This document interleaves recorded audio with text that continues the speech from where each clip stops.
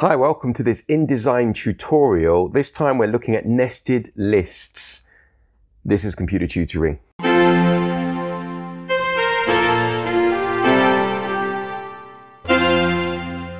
Hi, so we're looking at nested lists in this tutorial and in particular two types, bullet lists and numbered lists. Now, the easiest of the two are bullet lists. So let's get started. If you haven't already done so, then you can download this exercise file or you can just type something up. Basically, I've just got a few uh, list items here, but you can get the idea.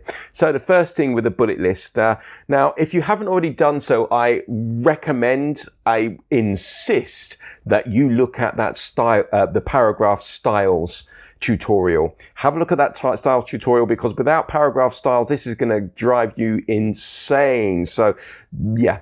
So what have I got here? So let's have a look here. Say for instance, I want to create a list. I want to start straight off with the paragraph styles. Um, to get you sort of started, I'm just going to highlight this here. So things to do, got these ones here. If you're using a later version of um, Adobe InDesign, excuse me. So if you're, I'm, I'm all right, don't worry. If you're using a uh, later version of Adobe InDesign, then what you can do is you can go to the properties and, and scroll all the way down. And in the paragraph section, there's a bit there called bullets and numbering. Let me just zoom in so you can see, you know, that one there. So you can see that section there, which has got bullets and numbering. So you can click on the bullet list just here and it will then turn all of those into bullets. If, however, you're a little bit on the CS6s or older versions of InDesign, you might need to go through the paragraph window. So that would be up to the top to the word paragraph. If I just zoom in here, we go up, sorry, window. Uh, and then you would go to type in tables and paragraph. So you can do this one. I've got one up here. You can see, and then you can go to the quick panel options uh, or the panel options menu, just top right hand corner and go down to and choose uh, bullets and numbering. So I'll do it that way just so that takes into account absolutely everybody. Uh, there we go. We've got bullets and numbering just here. The list type I want to choose is going to be bullets. So I choose bullets. You can see the list is automatically applied because I have this preview checkbox here ticked in the bottom left hand corner. So make sure you do that. So I can see my bullet styles here as well. I can just adjust using this section. If I just zoom in, you see, uh, I can then see, okay, uh, I've got this uh, here. I can increase the left to bring the bullet. I can uh, here, so I can bring the whole lot out. It will just bring things across. I can then adjust the tab position if I want to bring things closer to it. Just be careful as you're mucking around with these here because things can go a bit array, a bit dodgy really quickly.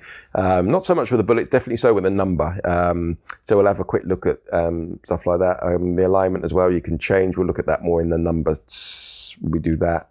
Great, that's it. So there we go. That's our first bullet list. Oh, let me just uh, remove the left indent a little bit and then bring the tab. So we just bring it back a little bit more. That's it. And then bring the tab a little position. Uh, that's good. Brilliant.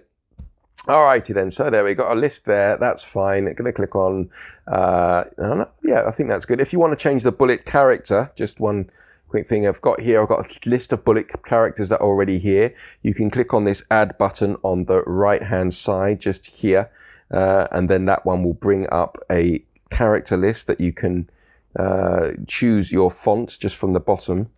So at the moment, my font is Arial. So if I click on that drop down list, let's just zoom back so you can see. Uh, and then I can scroll down this list and go to one that you'd always be familiar with, Wingdings. Here we go. So we've got certain things we can use for bullets. If I look down, there should be something like arrows or boxes or uh, there we go, sort of little stars or anything like that at all. Here we go. So say I want a star, I'll use this star here. Oh, yeah, I'll use this star here. Just click on that, then click on ads, click on OK there's the star. So if I click on it, you can see that my bullets are now stars. That's great. If you've looked at our character style tutorial, you'll know how to bring into char character style. So if I go here, I've clicked one uh, and I can go to, and I can create a new character style just here.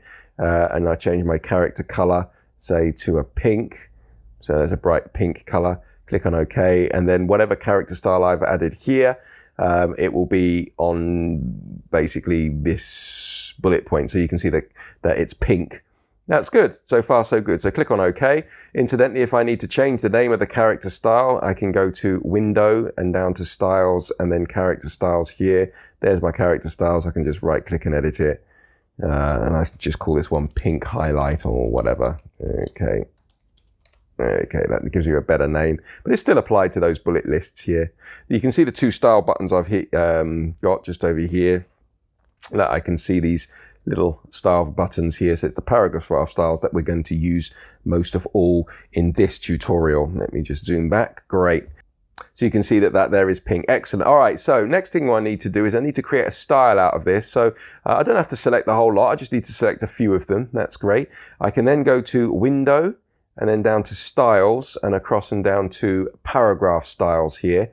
Uh, so here we go. So I've got that uh, selected. You can see that uh, there's no style or anything selected here just yet. So what I'm just going to do is I'm just going to click on the plus just here and there's my new paragraph style one. So I'm just going to double click on that. Uh, and then you can see paragraph style one here is created at the top. Uh, if I go down here and I can click on bullets and numbering, I can see it's picked up pink highlight and it's where we've inserted the bullet character. That's great. So I need to call this one bullet level or LVL1. And I make all the adjustments that I need to it here, you know, so I can go to the paragraph style format, so I can go to indents and spacing if I need to add some space before, just space them out a little bit. Uh, and I would always go back to my styles should I need to change them. If I click on OK, that's great. Excellent. Uh, okay. Um, so just make sure I click in any sort of area. That's it. That's great. Cool. If I want to make sure that these style is applied to all of them, what I'll do is I'll just go back and just make sure all of them are highlighted. So if I just select all of them up here like so, should have that, done that earlier. And then I click on bullet level one. Ah, there we go. The spacing is all evenly spaced there. That looks a whole lot better. That's good. Let me just click away, make sure nothing's selected. Uh, and I think I accidentally added this earlier, so I'm just going to drag that one to the rubbish bin. Great. So I now need a level two style. So what I do here is let's say, for instance, under snorkeling, I'm going to select diving up to uh, snorkeling here, just flip us down to diving. That'll do. Um, and then I am going to do a new style. Uh, where's my new style? There it is at the bottom. Just going to double click on it. And I'm going to call this style bullets level two. Now, if you think I'm going through this quite quickly, then please see our styles, our paragraph styles tutorial. Uh, there's one on paragraph styles, and hopefully by the time this has come out, there should be one on character styles as well. That's great. So it's going to be based on, I'm just going to base this on, yeah, I'll base this on bullet level one. So it's going to inherit whatever this has, but I might need to change a few bits here. So let's just go into bullets and numbering. Uh, let's just change the bullet type to a normal one. Let's just bring it in a little bit. So just move it in a little bit like so. Let's just change the chat tab position to bring it so. That's good. Do I need my character style? Let's say none for that one. So that's going to still be black.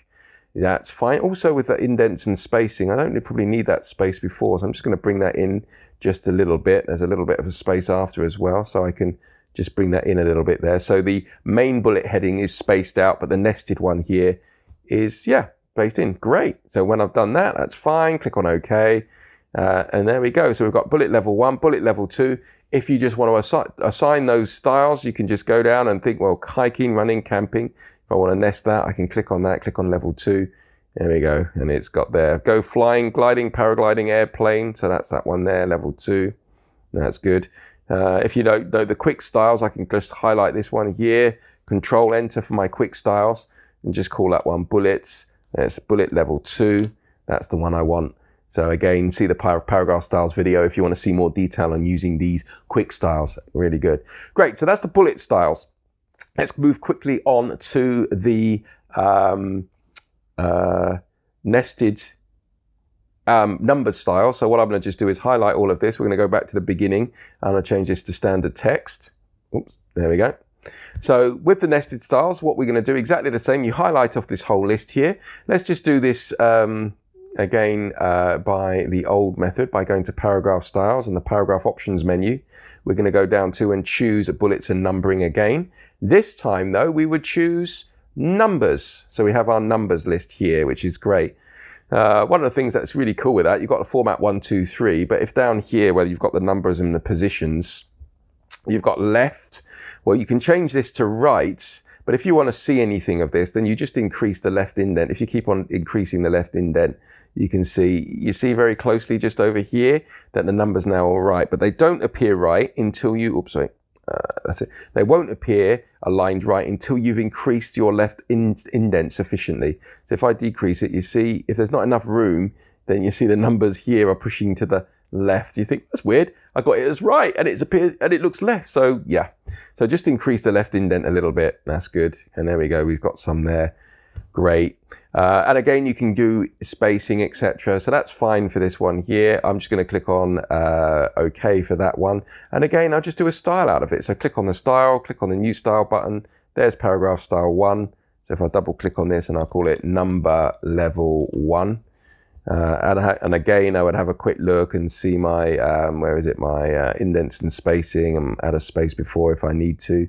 Probably best to select the whole thing, you know, uh, that's good.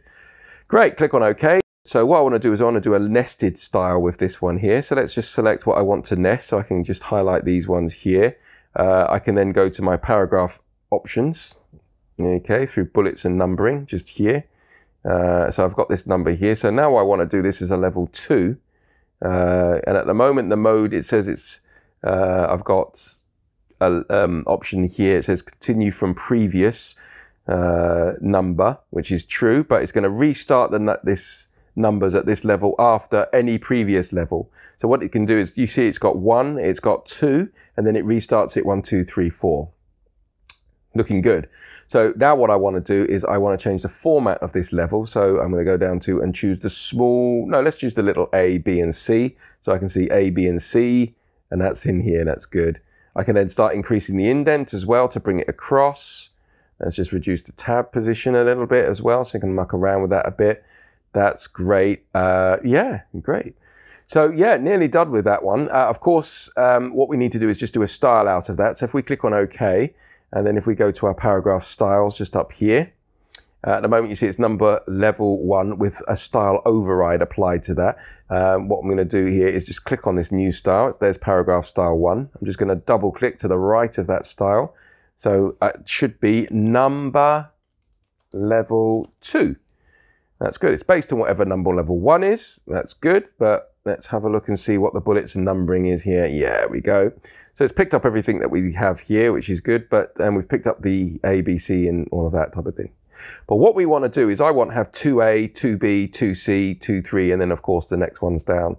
So how do I do that? So if I click just here, basically. And then if I click on this little drop down list just here, let me just zoom in so you can see that.